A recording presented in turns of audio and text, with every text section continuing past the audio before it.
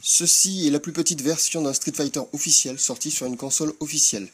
Et c'est bien dommage que la Game Boy Micro se soit si peu vendue en France. Ceci n'est pas seulement un P90, mon arme à feu préférée, c'est aussi la source d'inspiration du Seburo C26A, une arme que l'on peut découvrir dans l'anime Ghost in the Shell Standalone Complex. Ceci n'est pas une tour PC, en fait il s'agit de la PSFX, une console japonaise qui s'est totalement vautrée et qui avait quelques dizaines de jeux très manga dont un entièrement designé par l'auteur de Ken le Survivant. Ces trois jeux ont un point commun, Ninokuni et Tamamayu Monogatari ont été complètement designés par les studios Ghibli, alors que Mirai Shonen Conan est carrément une adaptation d'une série animée des studios Ghibli. Ceci n'est pas une boîte de bonbons en métal, en fait il s'agit d'un jeu Game Boy, à savoir Bomberman. Ce qui est amusant, c'est que c'est un peu l'ancêtre des steelbooks.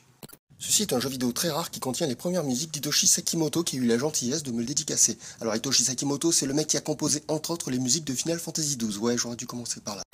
Ceci est un PSG1, le fusil de précision préféré de Sniper Wolf dans la série Metal Gear, et ce produit dérivé issu de Resident Evil 5 et sa version miniature. Oui, parce que dans Resident Evil 5, les stars, ce sont les armes.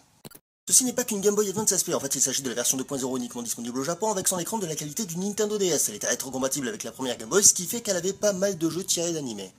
Ceci n'est pas qu'un bouclier légendaire de la saga Zelda, en fait il s'agit d'une boîte de bonbons officielle Nintendo. Et oui, parce qu'ils ne produisent pas que des amiibo. Ceci n'est pas qu'une molette bruyante.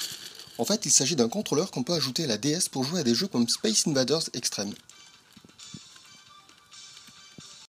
Ceci n'est pas un jeu électronique, mais une console japonaise qui fonctionne avec une seule pile, et elle s'appelle la WonderSwan.